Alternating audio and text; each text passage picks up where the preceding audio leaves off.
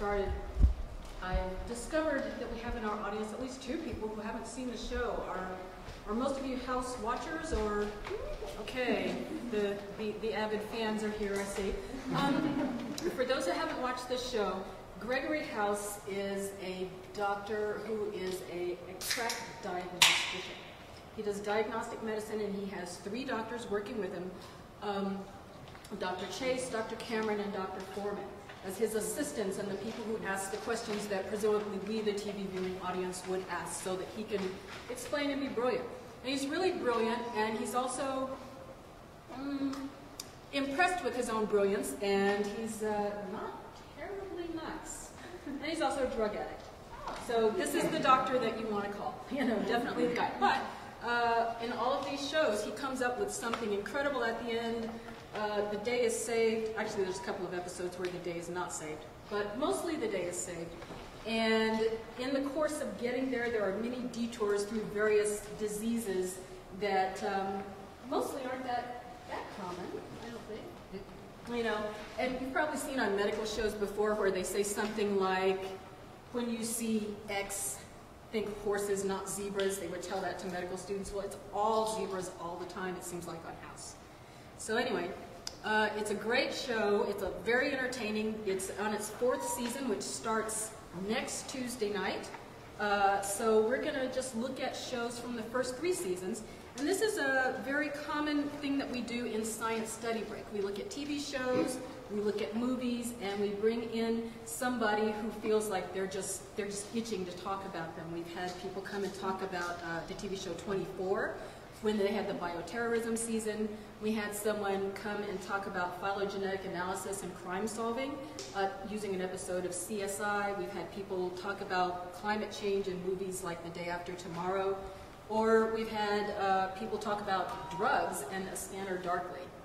So we're always looking for suggestions. At the end of the show, you'll notice that there's a form in your chair please fill it out. If there's a show that uh, you'd like to see us tackle or a movie that you'd like to see us tackle, let us know. I will say that if you want to see us tackle Lost, tell me how to do it, okay? tell, tell, me what it is that, that could be, that's the topic that could be addressed, because there's a lot of calls for Lost, but I don't quite know what the scientific end would be there. My impression is it's kind of paranormal. So, so let me know. If you want Lost, then you get to be an assistant producer. Okay, my name is Roxanne Bogutska, and I'm a science instruction librarian here at the Life Science Library. And today, to help us with Lost, uh, with Lost, with House, we have Dr. Leanne Field, who is a distinguished senior lecturer in the School of Biological Sciences here, and an adjunct associate professor at the UT School of Public Health. Dr. Field began her career at the Centers for Disease Control as a microbiologist in 1972 and has had an ongoing professional interest in infectious disease and public health, health ever since that time. She joined the faculty here at UT Austin in 1997 and enthusiastically teaches courses to undergraduate students in medical microbiology, human infectious diseases, and emerging and re-emerging infectious diseases. She also directs the public health internship program here, which gives undergraduate and post-baccalaureate students the opportunity to explore careers in public health by conducting research projects in epidemiology or laboratory science at the Texas Department of State Health Services and the Austin Travis County Health and Human Services Department. She's very busy. She's also the director of the Clinical Laboratory Science program at the university and the faculty director of two undergraduate students organizations, the Society of Public Health Students and Students in Clinical Laboratory Science. Dr. Field has been happily married for 33 years to her husband Mike, and she has one daughter, Grace, who is a senior at Rice University majoring in voice and opera studies. So as part of the fall's first science study break, when we are honored to be part of Natural Sciences Week, please join me in welcoming Dr. Land.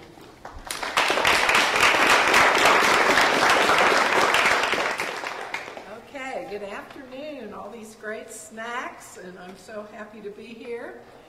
Uh, to set the stage, to go through some of these couple of house episodes. uh, I'm going to get back up to the front. and open it up.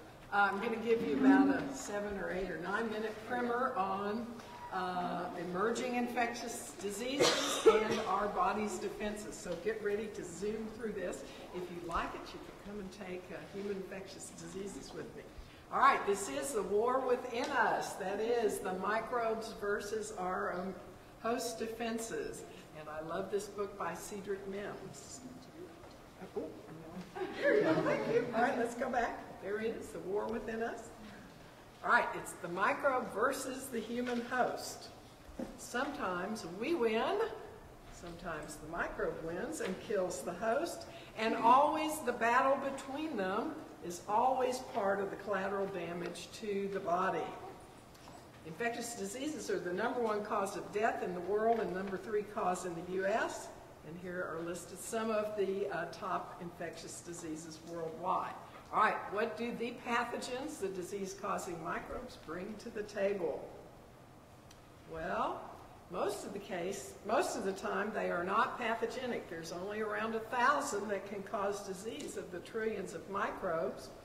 And not all pathogens are created equal. We have rather benign ones, like I'm suffering from right now, the common cold, or we have the deadly viruses that will kill you called Ebola and others. And here is a great quote from a Nobel laureate. Here we are, here are the bugs. They are looking for food, we are their meat. They reproduce so quickly, how do we compete? They have enormous potential for genetic change and their tools for adaptation far outpace ours. But with rare exceptions, our microbial adversaries have a shared interest in our survival. Almost any pathogen reaches a dead end when it kills the host. True severe pathogen-host interactions would eliminate both species. We are the contingent survivors of such encounters because of the shared interest. Joshua Lederberg. So, what do the pathogens want to do in us? To get in, find a safe niche, multiply, and reach the next host. How do they do this? There's a number of ways they're transmitted, and you can look for methods of transmission in House. Respiratory spread, fecal oral, poopy in the mouth, venereal spread, and then a number of infectious diseases transmitted from animal to man, and we call those zoonoses. Here is us in a nutshell, and most of the microbes get in on one of the internal surfaces of the body because the skin is very, very tough to get into. Once they get in, they attach, they begin to multiply. Some, but not all, can invade deeper into the body and they must exit the host or they're not successful. They have to get in, multiply, get out to the next host or they're uh, eliminated. All right, that's the offense. Let's look at the defense. Our incredible, and it is our incredible immune system. Here we are in a sea of microbes surrounding us. The good news is not many of us will get sick. If we sprayed something in this room right now, we all breathed it in, only the tip of the iceberg would come down with disease. That's because our immune systems are so good. Our body, the castle, this is the analogy I use. We have layers of defense, including physical barriers and some incredible white blood cells, the phagocytes that are designed to eat and kill, and the incredible lymphocytes that make a tailor-made response and leave those memory cells behind to fight another day. Three levels of defenses at the surface, right underneath the surface, and then the immune system defenses. So what about our body surfaces? They're well defended whether it's the skin, the conjunctiva of the eye, the lungs, the gastrointestinal tract, or the genitourinary tract. These are all dynamic environments. They're designed to move the pathogens out of the body. Here's a look at those internal mucous membranes inside the body. If the microbes breach the defenses, you get the phagocytes, the eating and killing machines designed to kill them. This is a quote from George Bernard Shaw. There's generally only one scientific treatment for all diseases. That is to stimulate phagocytes. It's not true for all diseases, but it is true for bacterial diseases, and House features a lot of bacterial diseases on their program. Here are just some beautiful pictures of the phagocytes reaching out to that tiny microbe on the bottom. Don't feel sorry for the microbe. They have defenses.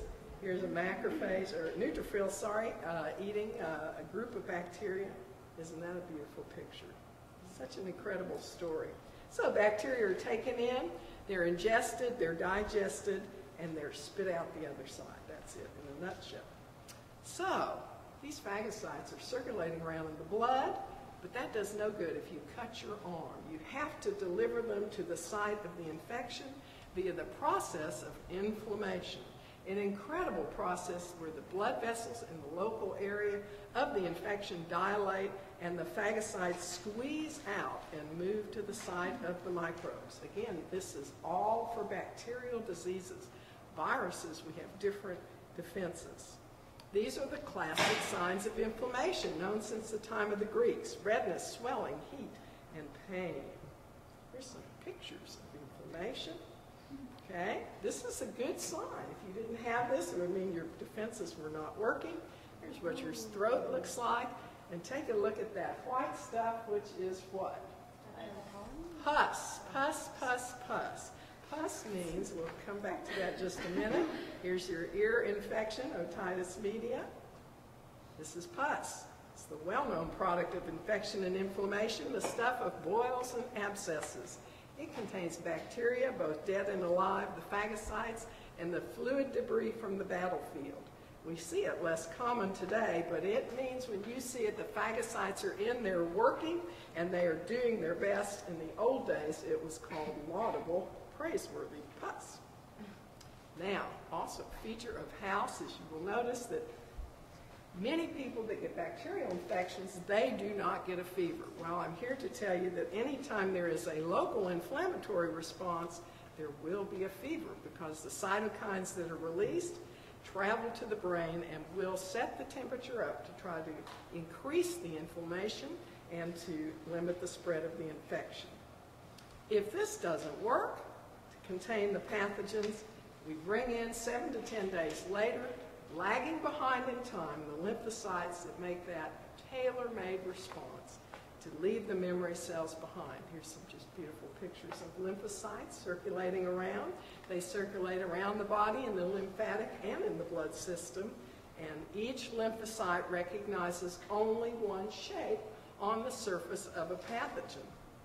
And the battle with the lymphocyte occurs in the lymph node, shown here in green, defending the lungs.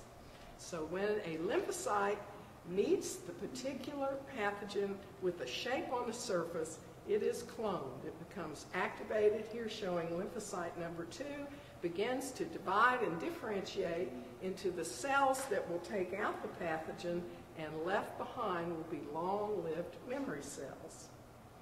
How do the lymphocytes take out the pathogen? Either coating it with antibody and then those eat and kill phagocytes do it in, or they blow it up uh, a virus-infected cell. And memory cells are left behind, which is why we vaccinate people so that you've seen it before and the next time you see it, the infection will be fought very, very quickly. So those are our defenders. Surface defenses, the phagocytes, and the lymphocytes. Now when you think about immunology, and you'll see this in house, there are normal immune responses there. There are immunodeficiency diseases, and in that case, these are genetic uh, inborn diseases, and what will happen to the person if they have an immunodeficiency disease? Will they be able to make this response? No. They will have a defect. Can you cause someone to be immunodeficient?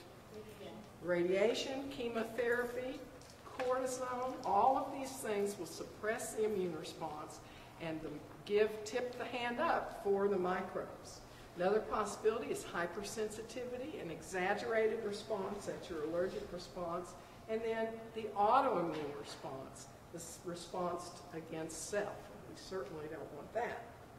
So when we think about uh, genetic uh, immunodeficiencies, we can have problems with the phagocytes.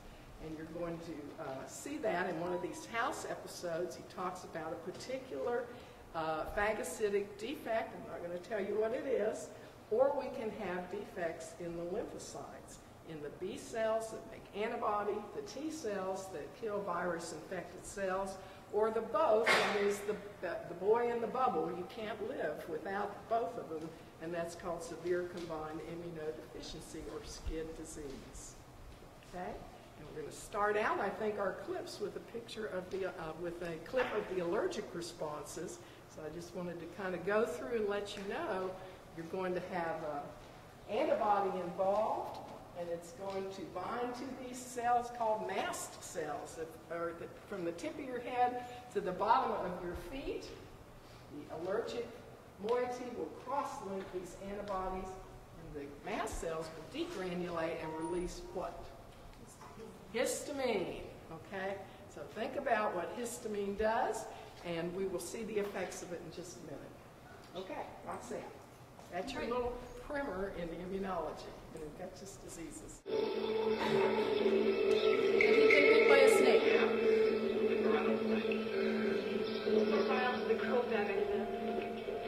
A timber rattler.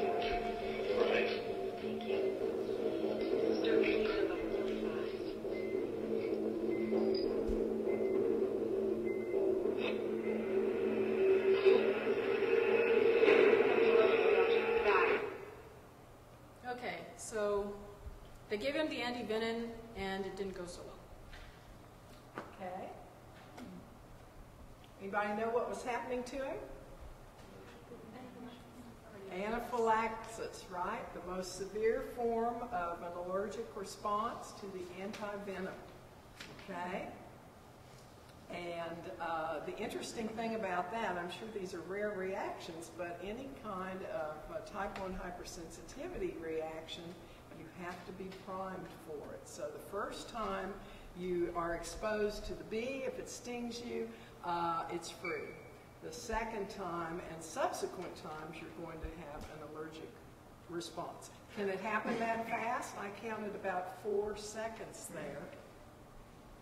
More like 30 seconds to a minimum, uh, to a minute would be a minimum there, but yes, it's why it's called immediate anaphylaxis. Can do this So that's a time. pretty accurate re- representation, and he has trouble Right, first breathing. time. Snake bite guy is way more interesting. Gross, actually. So, just so that we can, you know, part of House that's uh, the entertaining part for some of us is that, is that there's always something gross every episode. so here's the grossness. Remember, there was a picture she showed you of redness and what have you. This isn't quite the same because, uh, Well, it's beyond that. yeah. So, This is the microbes winning on that leg. Everyone had enough of this image? Yeah, pretty much enough. Okay. The patient responded to epinephrine and the allergic reaction was arrested. Okay, so they talk about giving him the epinephrine after he had that reaction to the antivenin, and then you get the glorious Technicolor shot of the wound. Right, so does anybody know how epinephrine helps an allergic response? That's exactly, so they're right, that's what they would do. What happens in the allergic response, anybody know, in systemic anaphylaxis? Okay, the blood vessels begin to open up in response to that histamine, and plasma pours into the tissues, and that causes the blood pressure to drop, the heart will stop, and the, the, there's also smooth muscle contraction of the bronchioles so that the person cannot breathe. So they must put in the epinephrine to reverse those effects, and then add the plasma back to expand the blood and restore the blood pressure. So all that's really pretty accurate. What we're going to do is show some things that are accurate and some things that are not so accurate. So he responded to the epinephrine and he was just fine, and that's the way it would happen. Yes. So what happened to the leg though? What happened to the leg? We're going to continue on with the story of the leg. So I this is a little. Yeah. So he got supposedly bit by a snake. I did neglect to tell you that. So they looked at him and they detected two puncture wounds and they figured must be a snake bite. And they got with the um, parks, park ranger type people to go out. That's where the first clip you saw them holding up the timber rattler. So they gave him the antivenin and that wasn't working out. So what they've done between that clip and this clip is given him some uh, different antivenin and they've stood by with uh, Cortisone. with cortisone so that if he had another reaction, they could help him. So they gave him that new stuff. He didn't, thankfully, have another reaction. And, however, We gave the guy the antivenom. What if I'm allergic again? so there's These this. people are here. If you have a reaction, then you can do Whatever's necessary to ensure your airways stay open and your heart keeps beating. My wife's on the way in. Can't this wait? I'm sorry.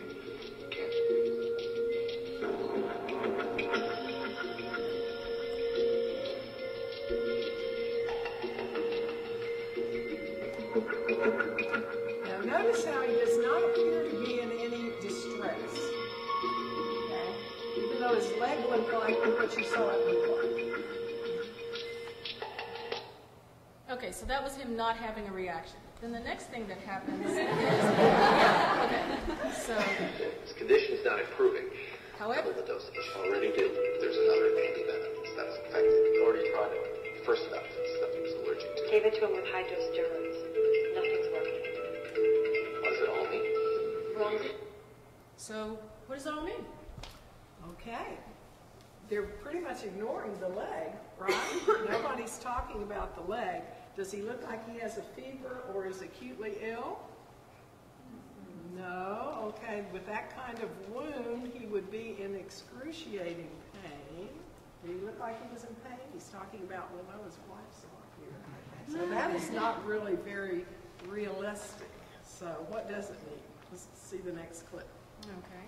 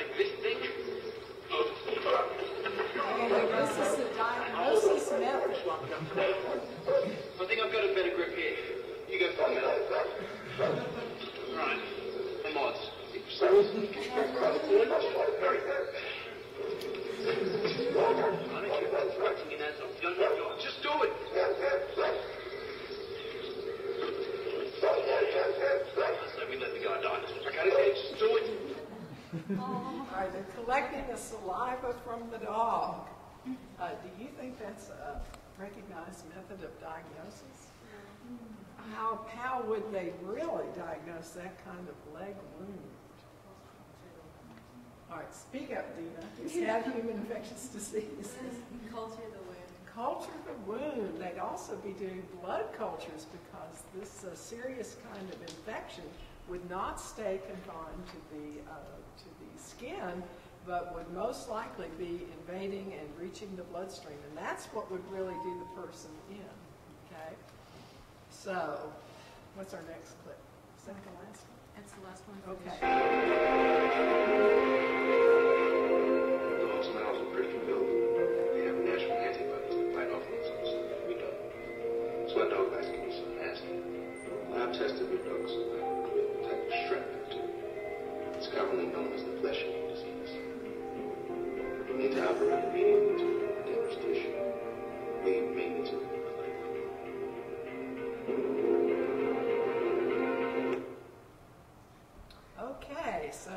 the dog is not susceptible because he has natural antibodies, and they're talking about diagnosing it by culturing the dog's saliva. There would be many, many, many different things in that dog's saliva, so that, uh, that is not an accurate uh, method of diagnosis at all.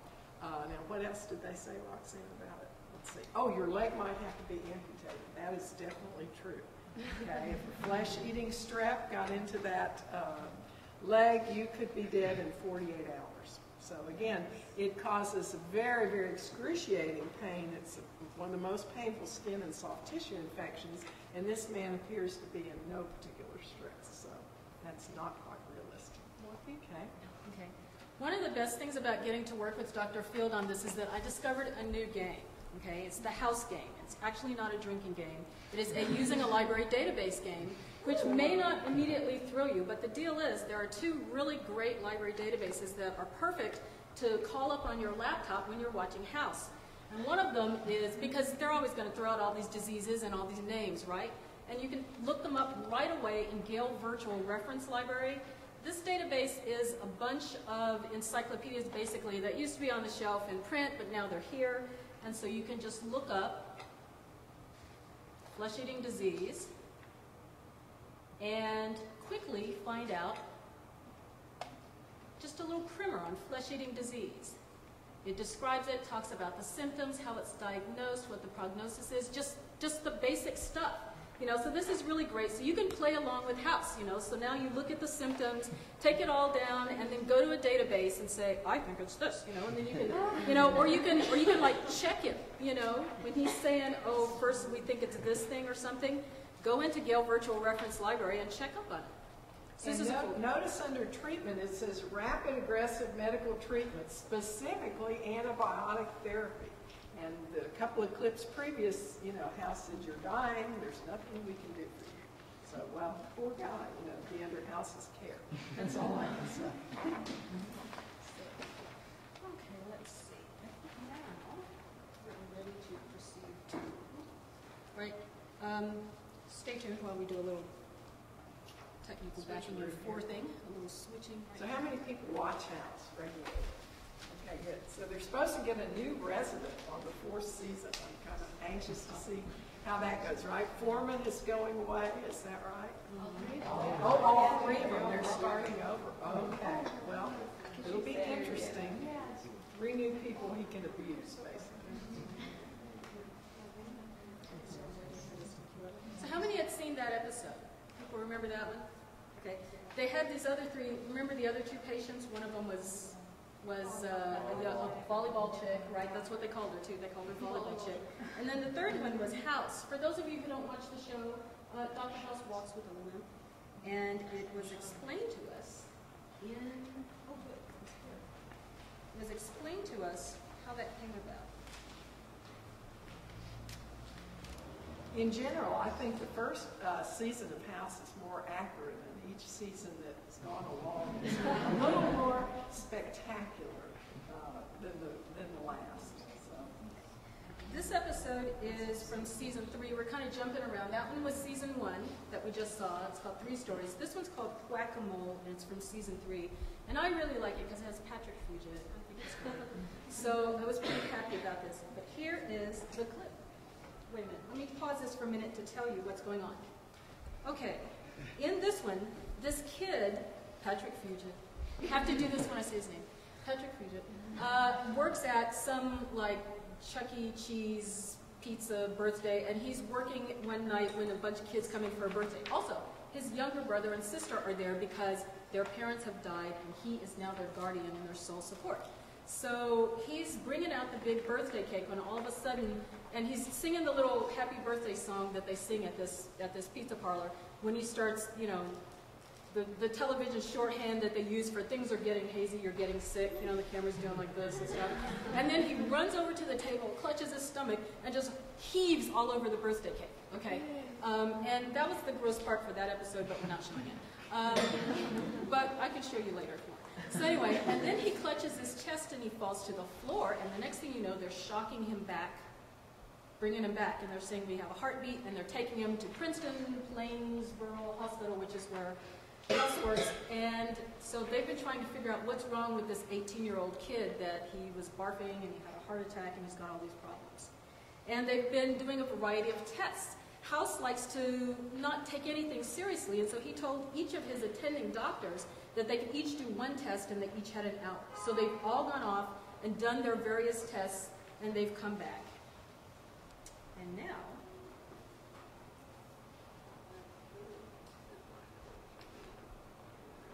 Chase, stop doing that. We're almost finished. He's got osteomyelitis. And you're wrong about food toxins. And you can stop too. It's syphilis. You sure? Read it down. He's also positive for Eikenella.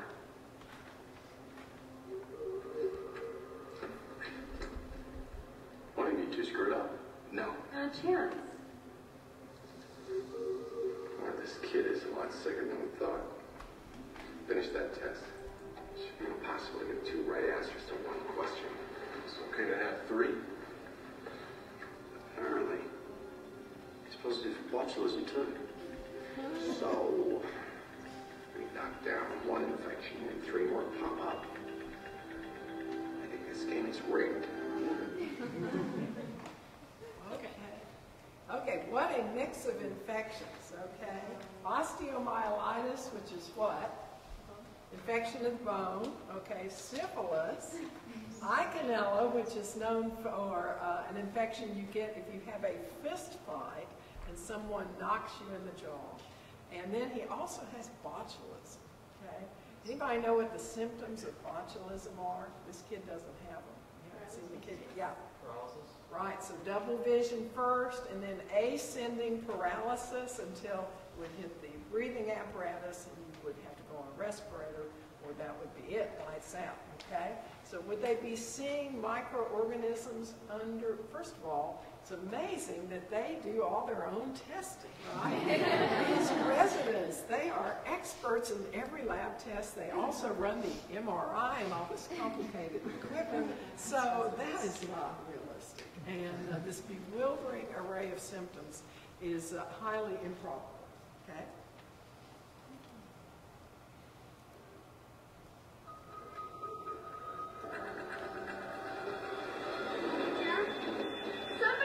We managed to clear all three infections out of his system, but now he's having seizures every few hours. But they don't tell He's you gotta be how. immunocompromised. No. My count was normal and he was negative for HIV. Well, he's not immunocompromised. Why is he acting like he's immunocompromised? What do the seizures tell us? Nothing.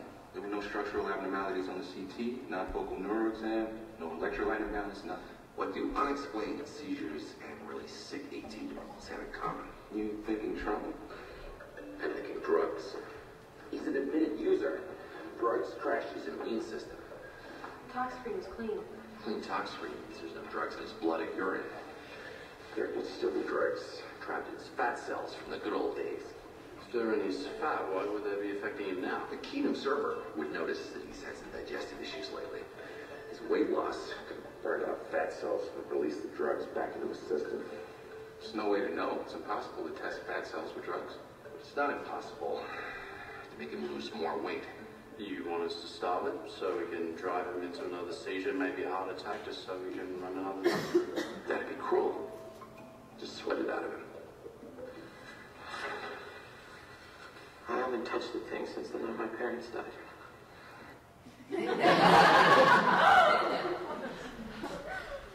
Okay, so what do you think about this? Could you sweat out drugs in a sauna? Can you test for drugs in sweat? Well, actually, the answer is yes. And I uh, contacted Dr. George Kudlow down at UT Health Science Center in San Antonio. They have a forensic toxicology program. So I emailed him, and he responded back that yes, indeed, uh, you could have a number of drugs of abuse that uh, could be stored in fat. They would first, however, be released into the bloodstream, and then they may also appear in sweat. So this sounds far out, but it's not that far off with reality. Okay, so we give them a check for that. They should have been able to detect it They should have been able, well, but they said that it, it was old drugs that had been stored in fat. So he wasn't presently taking drugs, so he might not have had them in his blood or urine. Okay? It'll stay in your system a long time.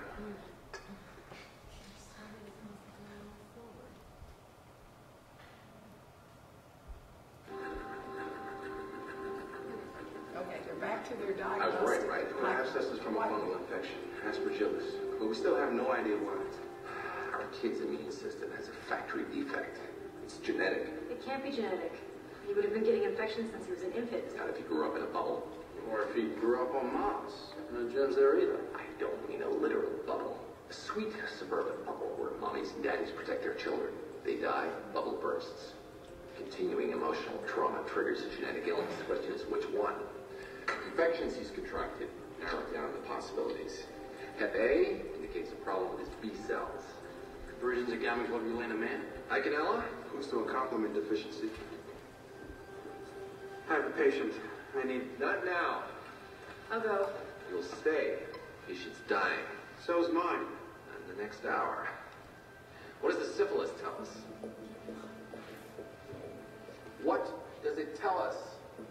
It could mean chronic granulomatous disease. The aspergillus is a T cell issue. Common variable immunodeficiency. Genetic testing is going to take time. Given the rates pick up infections, When we turn it into a race, little need to be playing games with us. Not you guys, the infections. What infections? The infections we're gonna give him. The only way to cure me is to make me sicker. Each of the four possible genetic conditions is most susceptible to different types of infection. What's that? This is a cocktail of Serratia, meningococcus, Escherichia, and rhinovirus, whichever germ gains the most ground plants the flag of its leader. Gives us our answer. And how are you gonna know which one gains the most ground? Well, that's the fun part. See, if the meningococcus is king of the hill, you have to have a seizure.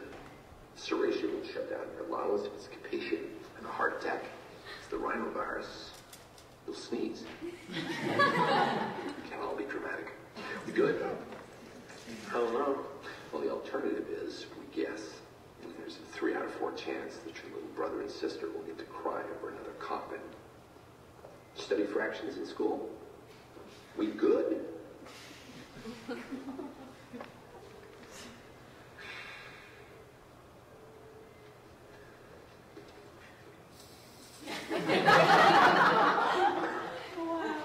Oh, and this test isn't exactly FDA approved, so let's just keep it our little secret, okay?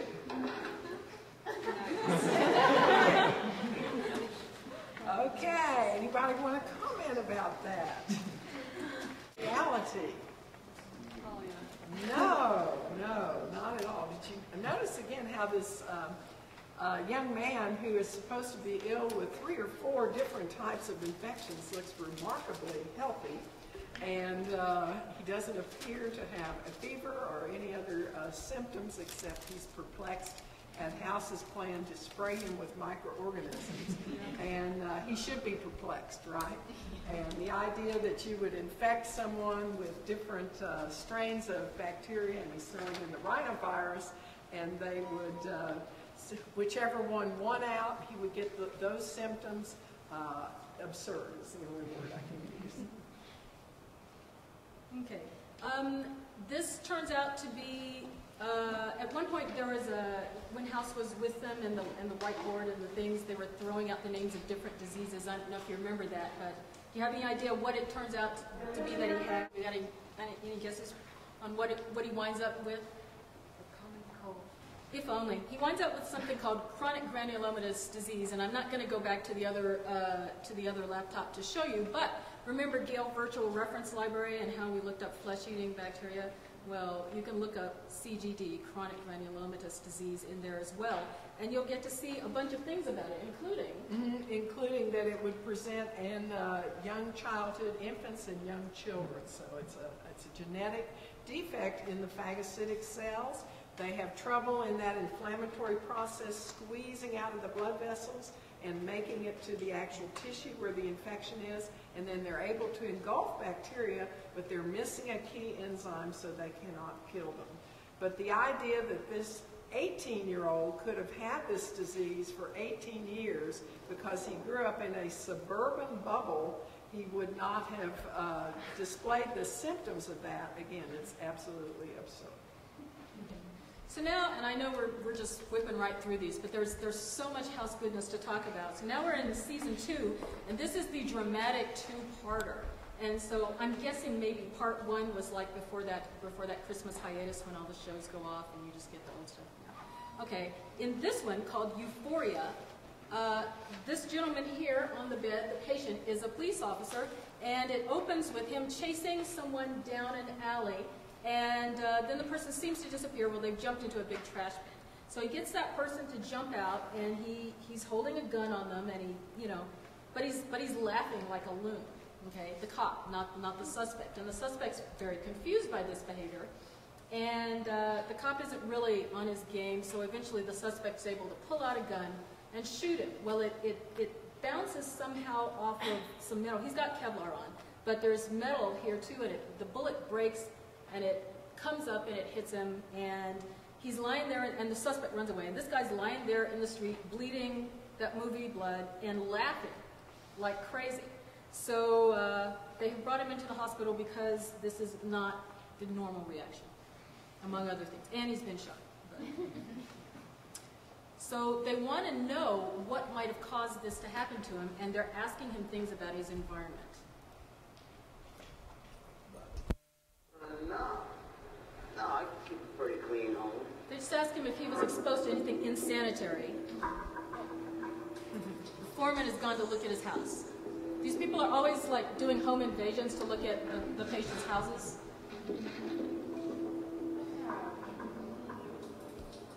This is the gross stuff for this episode.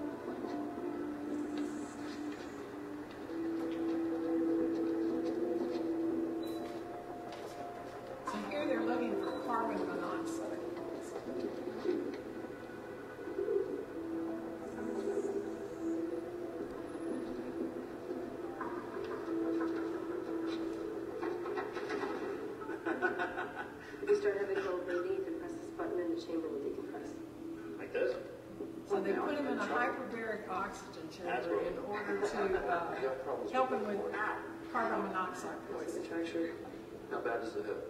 Not, not at all. That's wild though, huh? Your brain's not getting enough oxygen, you're losing motor function. We should stop this right away. should I be scared? No, you probably have a carbon monoxide unit in your place. We have a guy there checking things out.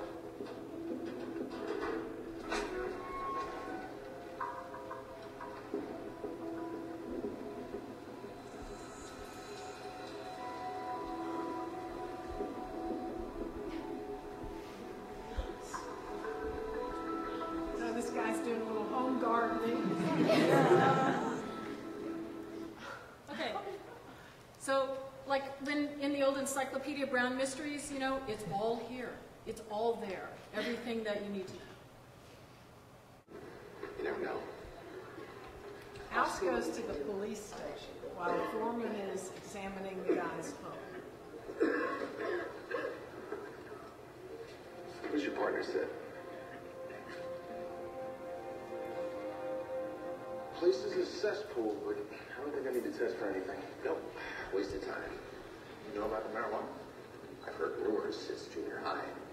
Acting for years. He's got Legionnaire's disease. Good thing Joe got shot. The whole precinct would have got wiped out. Anarchy on It takes 48 hours to test Legionnaire's two seconds to recognize that the symptoms fit while staring at the rancid, unchanged water in ACU. Marijuana explains the high carboxy, the cloudy lungs, and the happiness. Pot doesn't explain the fact that he's gotten worse since he was admitted. Why don't we agree to disagree? Actually, why don't we agree that you'll disagree with me while treating him for Legionnaires? Sounds pithy, but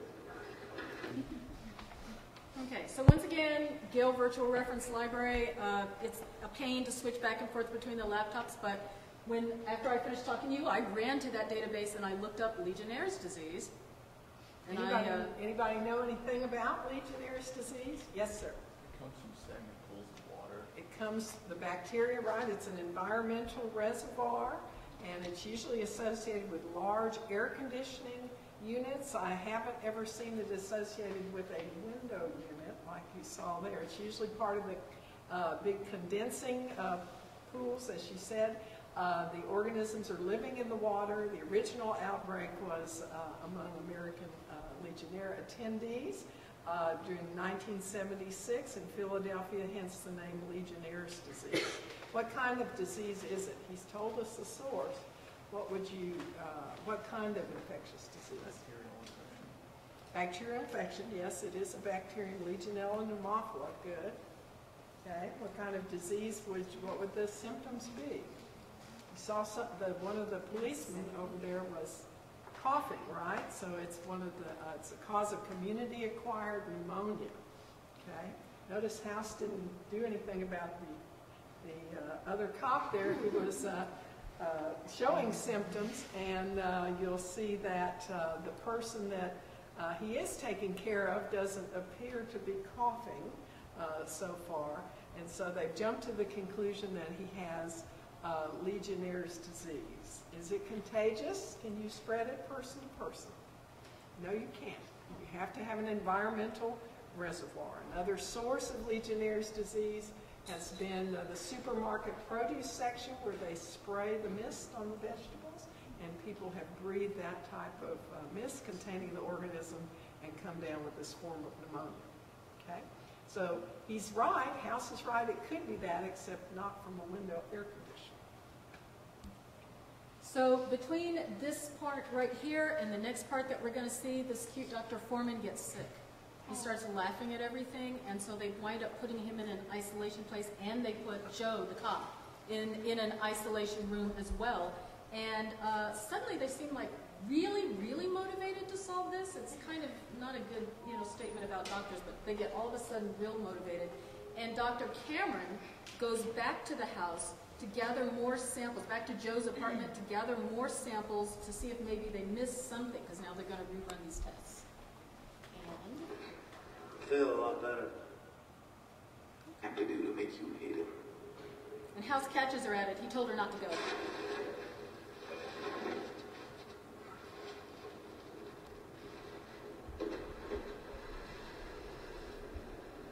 In the bag.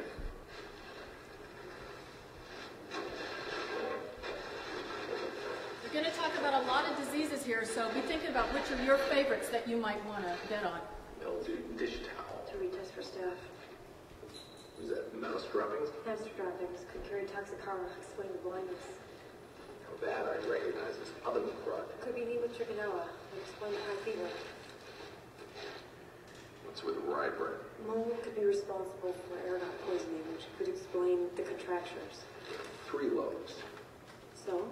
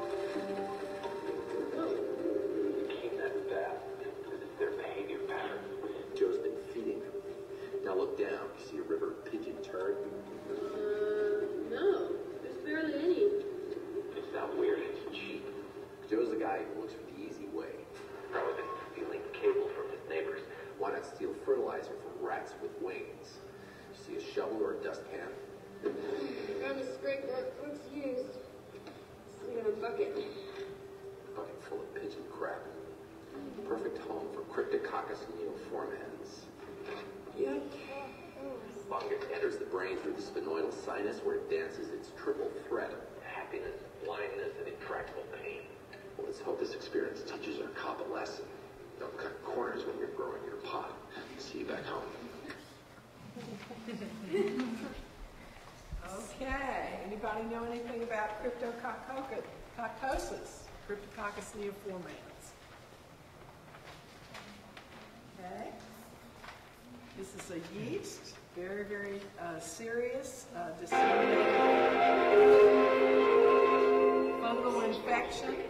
Now, I'm not sure about his symptoms. Did you want to look Cryptococcus up in the um, reference? So they're trying to account for blindness, uh, euphoria, laughing. All of these would indicate something's in uh, the brain. None of those symptoms fit with Legionnaire's disease, so that's kind of a little incongruous. So the thing to do would be to go and look up the symptoms of Cryptococcus uh, neoformans, the cause of cryptococcosis. And we had an uncommanded shutdown, so Oh, we're having a technical we're having a technical, Okay. yes, you know, it So- was too good to last. so. But it, once again, was something that uh, I was able to find in the Gale Virtual Reference Library.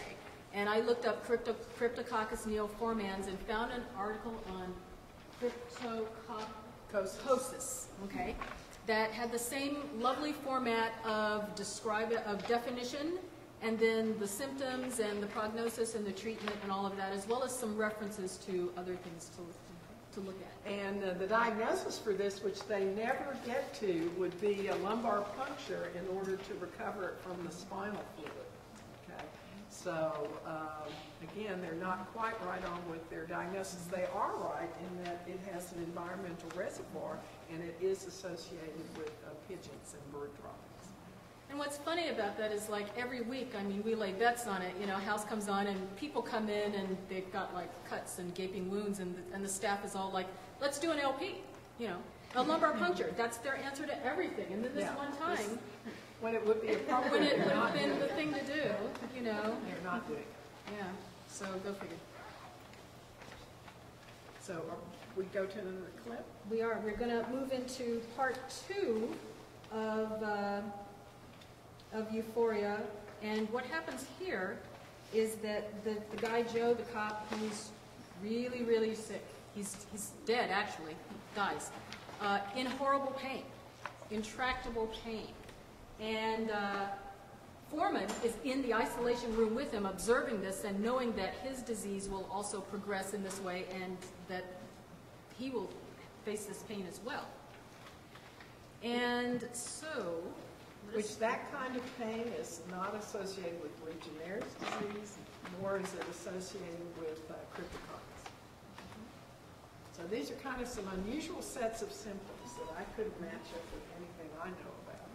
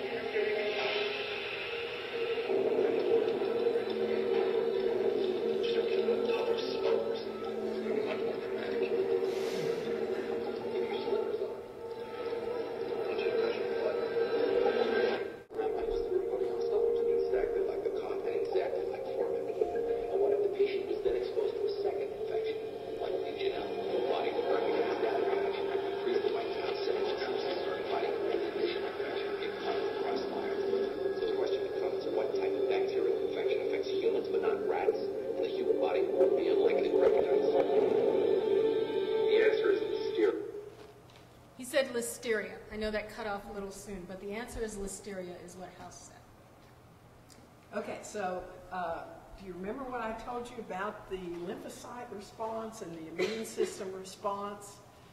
only one particular shape on a lymphocyte would be, uh, would recognize the pathogen and the cells would begin to multiply and make your response to produce antibodies. So House is claiming here that uh, the first infection you'd be making an antibody response and the second infection would get caught in the crossfire by the antibody response.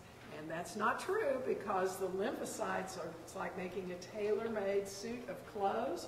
You're only going to make a response to that one pathogen and it will not cross-protect you against totally unrelated pathogen. So finally, a little more detective work.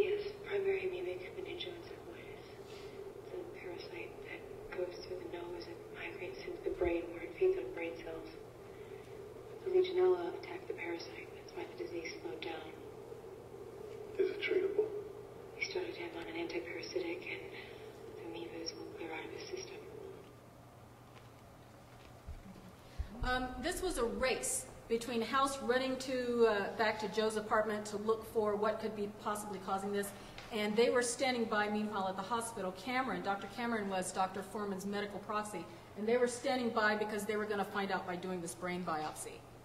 Uh, so House was racing to try to get this before they had to cut open Foreman's head, but they did it anyway. Okay, so uh, the diagnostic test for primary amoebic meningoencephalitis would be cerebral spinal fluid lumbar puncture, and you would see the organisms multiplying in the spinal fluid. The whole premise of this show was they had to do a brain biopsy uh, in order to diagnose it. And uh, you'll also notice that, uh, what did she say they could do for the infection? So it's a protozoan infection. What did she say? Antiparasitic drug. This infection is 100% fatal. okay?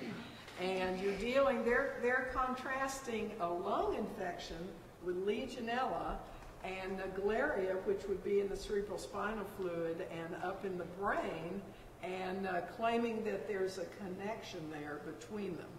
All right, yes, you would breathe in the Legionella if the guy is, you know, potentially growing his marijuana, and he, saw that misty, moisty, uh, uh, the way he was uh, uh, kind of irrigating, and you could get that way. You could get Legionella that way.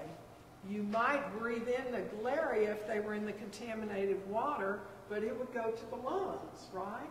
It would not go up to the brain. The way that this infection of primary amoebic meningoencephalitis is always contracted is by what?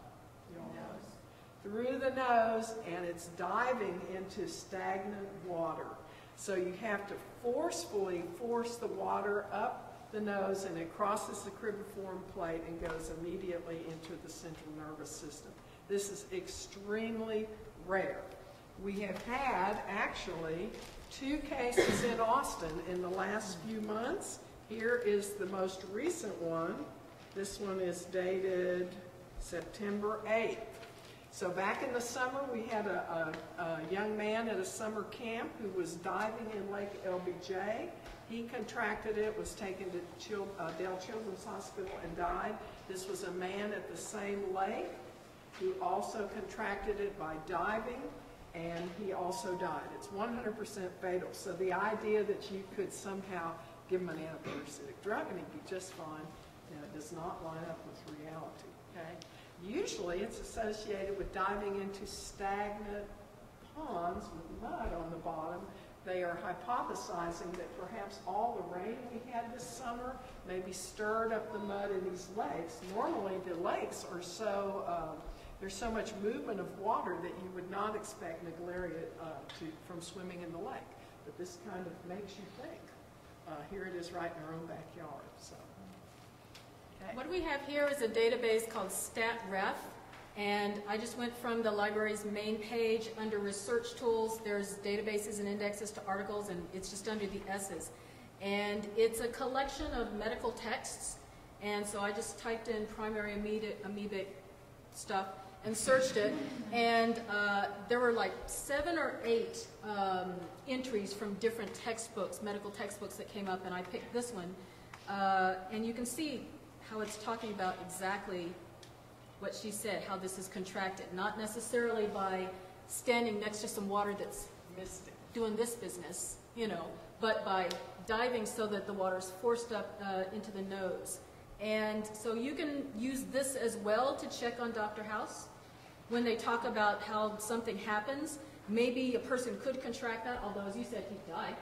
But uh, would have been dead way before two episodes. Yeah. yeah, it's like 72 hours. It's very, very fast. That young man that contracted it was dead in just a couple of days. Yeah. Very fast. But here you can check on things like the mode of transmission, the methods of control, so that if part of what they're saying is right, a person could catch disease, could get disease A, but could they get it this way? So here's another source for checking up on house. So next uh, next Tuesday night, the show starts season four. I think it's 8 o'clock? 8 o'clock. So fire up your laptops, go to the library main page and use our databases so that, you know, and then you can, and then you can, you know, write those letters that are fun to write to the network saying, well, actually, I checked and, you know? Okay, any, any questions other, or comments? Any other questions? Yes. Um, well, this is, instance isn't realistic, does uh, this sort of thing ever occur where two infections battle each other within the body? Yes, very unusual combinations, especially when one infection is, is has a tropism for the central nervous system, the other one is in the lungs, and they wouldn't even be close to each other in the body. And the antibodies and the immune response really can't fight well up in the brain because uh, it's not well defended. Well, uh, I'm saying like the, there were two infections in like the same place. Does it, uh, does it ever occur where like two infections in the body do actually fight each other like they were suggesting? Right. The question is, would two infections in the body uh, be fighting against each other? No. The immune system would be fighting both of them at the same time. So um, Roxanne showed me that if you want to buy the DVDs, which is what we did, and watch all of the House episodes, they're all summarized on Wikipedia, And so we just went down and picked out the episodes that had to do with infectious diseases. And uh, so it's really been a lot of fun. And so I hope this perks your interest in uh, infectious disease and the topic of microbiology. Um, consider me a, a, a, living reference if you have any other questions in the future. Uh, just shoot me an email and I'll be happy to answer them. Okay, thank you. That's pretty much what we have, but before you go, please fill out the, oh, please applaud. Yes, yes, please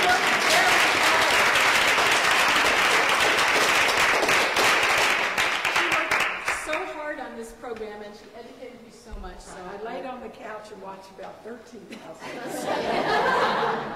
also, on your chair was a pencil and a, and a form, and if you would just let us know what you think about the program, let us know what programs you would like us to do in future, and uh, give me the secret to Lost, okay? Uh, fill that out and just leave it in your chair with your pencil, and uh, take more snacks.